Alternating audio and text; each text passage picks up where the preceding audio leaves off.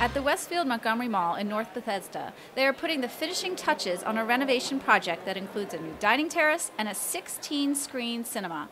Mall officials gave an inside peek of the project recently. The expansion is a $90 million project. We've been uh, about 18 months in the process of that.